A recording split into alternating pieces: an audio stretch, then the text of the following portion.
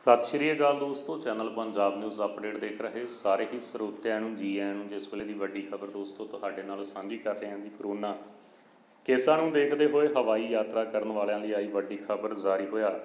ਇਹ ਹੁਕਮ ਜਾਣਨ ਦੇ ਲਈ ਵੀਡੀਓ ਨੂੰ ਅੰਤ ਤੱਕ ਦੇਖ ਲਿਓ। ਤੁਹਾਨੂੰ ਪੂਰੀ ਖਬਰ ਦਾ ਪਤਾ ਲੱਗ ਜਾਏਗਾ। ਵੀਡੀਓ ਨੂੰ ਲਾਈਕ, ਚੈਨਲ ਨੂੰ ਸਬਸਕ੍ਰਾਈਬ ਅਤੇ ਵੀਡੀਓ ਨੂੰ ਵੱਧ ਤੋਂ ਵੱਧ ਸ਼ੇਅਰ ਕਰਨਾ ਨਾ ਭੁੱਲਿਓ।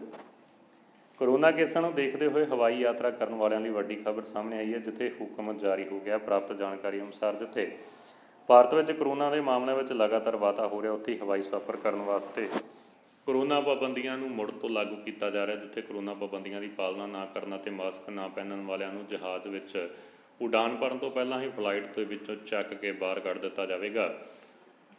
ਇਸ ਬਾਰੇ ਸੀਆਈਐਫ ਐਸਐਫ ਮੁਲਾਜ਼ਮਾਂ ਨੂੰ ਇਸ ਸਭ ਦੀ ਜ਼ਿੰਮੇਵਾਰੀ ਦਿੱਤੀ ਗਈ। ਅਗਰ ਕੋਈ ਵੀ ਯਾਤਰੀ ਵਾਰ-ਵਾਰ ਨਿਰਦੇਸ਼ਾਂ ਦੀ ਪਾਲਣਾ ਨਹੀਂ ਕਰਦਾ, ਤਾਂ ਉਸ ਨੂੰ ਸੰਚਾਲਕਾਂ ਵੱਲੋਂ ਉਡਾਣ ਕਰਨ ਤੋਂ ਪਹਿਲਾਂ ਹੀ ਜਹਾਜ਼ ਅਤੇ ਹਵਾਈ ਅੱਡੇ ਤੋਂ ਬਾਹਰ ਕਰ ਦਿੱਤਾ ਜਾਵੇਗਾ। ਯਾਤਰੀਆਂ ਵੱਲੋਂ ਉਲੰਘਣਾ ਕਰਨ ਨੂੰ ਲੈ ਕੇ ਜਿੱਥੇ 에ਅਰ ਟਰੈਵਲ ਵੱਲੋਂ ਦਿੱਲੀ ਹਾਈ ਕੋਰਟ 'ਚ ਇੱਕ ਪਟੀਸ਼ਨ ਦਾਇਰ ਕੀਤੀ ਗਈ ਹੈ, ਜਿਸ ਤੇ ਸੁਣਵਾਈ ਕਰਦਿਆਂ ਹਾਈ ਕੋਰਟ ਵੱਲੋਂ ਹਵਾਈ ਜਹਾਜ਼ ਵਿੱਚ ਨਿਯਮਾਂ ਦੀ ਉਲੰਘਣਾ ਕਰਨ ਵਾਲਿਆਂ ਦੇ ਖਿਲਾਫ ਸਖਤ ਕਾਰਵਾਈ ਕਰਨ ਦੇ ਹੁਕਮ ਜਾਰੀ ਕਰ ਦਿੱਤੇ ਗਏ ਹਨ, ਜਿੱਥੇ ਹਵਾਈ ਸਫ਼ਰ ਕਰਨ ਵਾਲਿਆਂ ਲਈ ਮਾਸਕ ਲਾਜ਼ਮੀ ਕਰ ਦਿੱਤਾ ਗਿਆ ਤੇ ਖਾਣ, ਖਾਣਾ ਖਾਣ ਦੇ ਸਮੇਂ ਮਾਸਕ ਉਤਾਰਿਆ ਜਾ ਸਕਦਾ। ਇਸ ਸਭ ਬਾਰੇ directorate general of civil aviation ਵੱਲੋਂ ਕੋਰਟ ਨੂੰ ਦੱਸਿਆ ਗਿਆ ਕਿ ਮਾਸਕ ਨਾ ਪਹਿਨਣ ਵਾਲਿਆਂ ਨੂੰ ਜੁਰਮਾਨਾ ਵੀ ਮੋੜ